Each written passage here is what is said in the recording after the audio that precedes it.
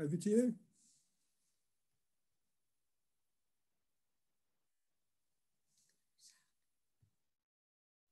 You need to uh, unmute yourself.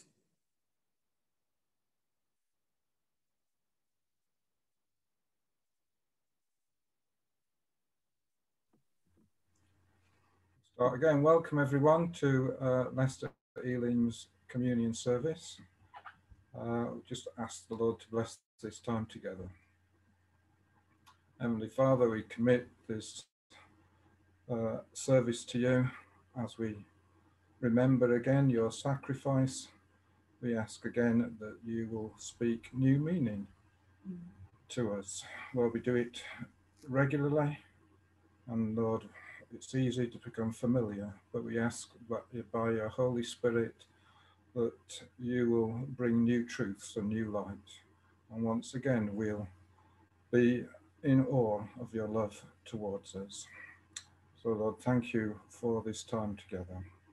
Amen. Just going to read familiar words from 1 Corinthians chapter 11, beginning to read at verse 23. For I have received of the Lord that which also I delivered unto you, that the Lord Jesus, the same night in which he was betrayed, took bread.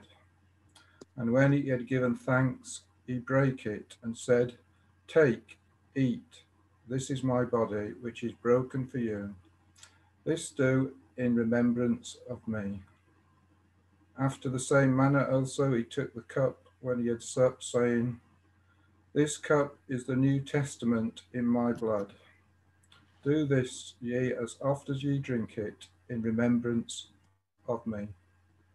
For as often as you eat this bread and drink this cup, you do show the Lord's death till he comes.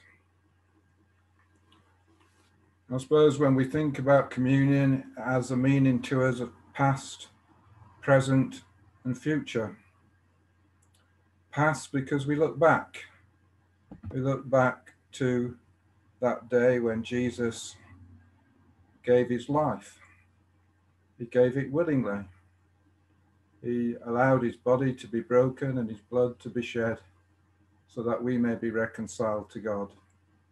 So we look back and remember his sacrifice. It has a present day meaning as well because we do this uh, to proclaim the Lord's death.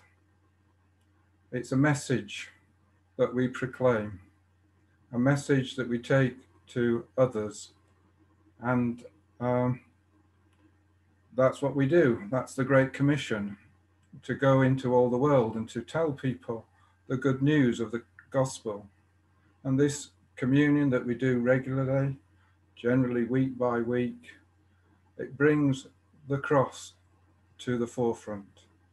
And that's the mission of the church to tell people the good news that Christ has died for their sins and that they can soon be reconciled, uh, they can be reconciled to God by accepting his sacrifice.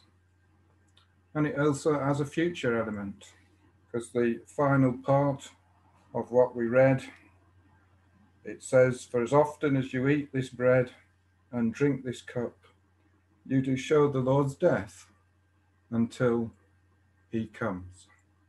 And that's our great hope as Christians that one day Christ will return. And then this communion service that we do, presumably, will stop. Not sure what we're going to do in heaven but we are to do this until he comes. One day, Christ has promised to return. And so, as a past, in that we remember what the Lord has done for us, as a present, because as we do this, we're proclaiming to the world that Christ died for our sins and that on the third day he rose again and it has a future. It looks forward to that day when Jesus Christ will return. So we're just going to give thanks for the bread and for the wine as we take it. Heavenly Father, we thank you once again for your sacrifice. We thank you for these emblems which speak to us of your death, the bread of your body that was broken for us, and your blood that was shed, that we might know the remission of our sins. And so we eat this bread and we drink this wine in remembrance of you, proclaiming to the world that Jesus died for our sins and looking forward to the day when you will return. Amen. So, as I said, it was on the night that Jesus was betrayed that he took the bread and he broke it. And he said, This is my body. This is my body, which is broken for you.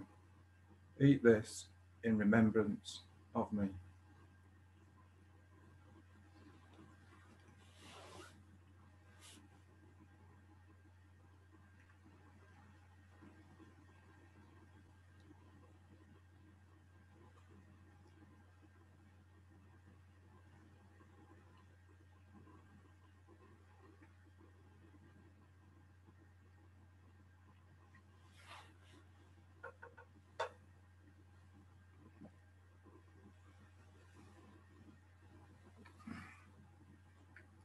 Likewise, after supper, Jesus took the cup, saying, This cup represented a new covenant, one purchased by his precious blood.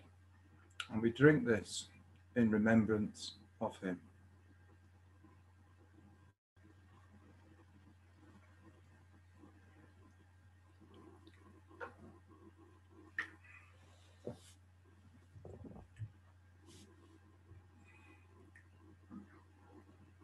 So thank you, God, for sending Jesus. Thank you, Jesus, that you came. Amen. Thank you, Brian.